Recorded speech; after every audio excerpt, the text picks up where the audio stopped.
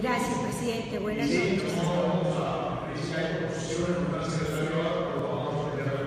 Sí, presidente, antes de mi intervención sobre el discurso del presidente Santos a las 5 de la tarde, radicamos una proposición para un debate de control político al ministro de Agricultura, al director del ICA y al director de la DIAN frente a la difícil situación que se está viviendo en la ganadería colombiana por el rebrote de la fiebre aftosa en varios departamentos del país. Le agradezco entonces que si se puede poner a consideración y ojalá no lo pueda agendar lo antes posible, presidente. Yo quiero referirme a la intervención del presidente Santos hoy en la última, en el último año de legislatura de este cuatrenio del Congreso. Yo lo sintetizaría callar, callar, callar el alcance del discurso del presidente Santos. En materia económica, el presidente Santos le faltó decirle a los colombianos que la economía tristemente está creciendo la mitad de lo que creció en el año 2016, que la inversión extranjera directa que en el mismo periodo del año 2016, en el primer trimestre, había logrado 4.700 millones de dólares, en el 2017 solo tenemos 2.515 millones de dólares, menos de la mitad la inversión extranjera directa, y que la desconfianza de los consumidores y de la industria en la política económica de Juan Manuel Santos decisiones tiene hoy en negativo en un 11.7% la confianza de los consumidores, en un 8.8% la de los industriales. Y tampoco, y cayó también el presidente Santos y tampoco dijo que el 16% de los jóvenes colombianos hoy están desempleados. Entonces, cuando él habla que en materia económica las cosas no están tan mal, cayó en temas sustanciales como la inversión, como el crecimiento, como el desempleo juvenil, de los hogares que creció menos la mitad de lo que había crecido el año anterior. Y ni qué decir de la deuda que le va a dejar a este gobierno que viene y a los colombianos 54.4% de la deuda entre interna y externa va a dejar este sistema público no financiero del gobierno para los futuros gobiernos que se van a instaurar a partir del 2018. ¿Cómo no va a ser preocupante si de cada peso debemos 54? Pero también cayó el presidente Santos y no le digo hoy al Congreso que había ignorado la decisión popular del plebiscito y que no le ha exigido a la FARC que entreguen los 11.500 niños reclutados y que tampoco le ha exigido a la FARC que entregue el patrimonio y la riqueza que ha amasado manchada de sangre por la plata del narcotráfico.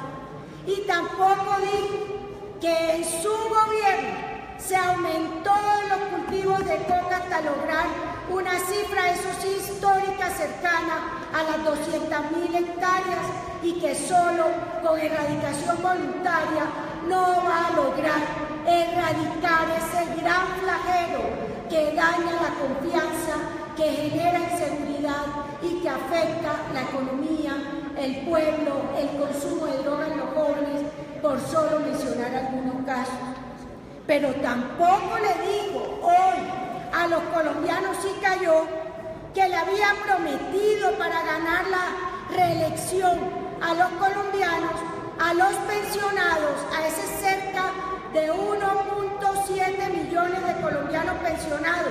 que ganan menos de cuatro salarios mínimos, que les había prometido bajar del 12 al 4% el aporte en salud y que este Congreso logró aprobarlo unánimemente.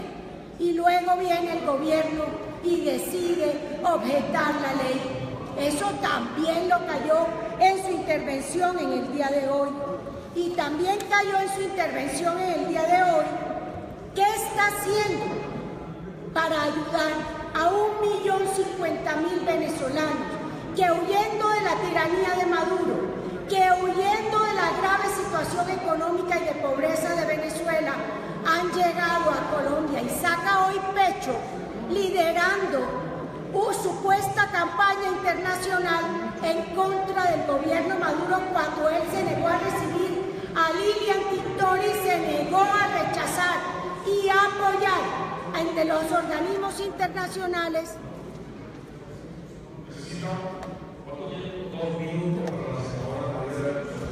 Gracias, presidente. Y se negó a rechazar, perdón, y se negó a defender ante los organismos internacionales y ante los países de la región a la oposición venezolana que estaba luchando por la libertad y la recuperación de la democracia y hoy en su intervención aparece como si estuviera liderando un movimiento en favor de la democracia en Venezuela que la había negado anteriormente. Pero también hoy aparece liderando la lucha contra la corrupción y cayó, cayó y no dice que en su campaña está reconocido por el gerente de la campaña, hubo entrada de los dineros de Odebrecht como consecuencia de la visión presupuestal a dedo de la vía Ocaña Navarra y que esos recursos entraron a la campaña y de eso sí lo habla, o sea, de los 4 millones de dólares por presunta corrupción. Y hoy habla de que no va a haber reducción de penas ni casa por cárcel para los corruptos cuando él y su gobierno con la mermelada han inducido a muchos congresistas, a muchos políticos, a muchos funcionarios públicos a que esos recursos se desvíen para corrupción y hoy habla de presentar un proyecto de ley que combata la corrupción. Y cayó también el presidente Santos sobre un tema que desde el año pasado no hemos vuelto a saber. ¿Qué ha pasado con los cerca de 73.500 kilómetros cuadrados del mar territorial de San Andrés? Estamos y hemos preguntado insistentemente a Cancillería. Hoy dice y aplaude el pero no dijo nada en materia de un tema sensible como es el tema del mar territorial de San Andrés. Y tampoco dijo si dentro de esa cifra de los 5 millones de turistas que se registran en el año 2016 están sumados ese millón cincuenta mil venezolanos que llegaron a Colombia no de turismo, que llegaron a Colombia. Ya voy a terminar, presidente. No, ya voy a cerrar. Voy a cerrar, no, medio minuto. Gracias, presidente. Quiero entonces finalizar diciendo que el presidente Santos le dijo a los congresistas que debían sentirse satisfechos con su conciencia porque apoyaron todo lo de los acuerdos entre FARC y su gobierno.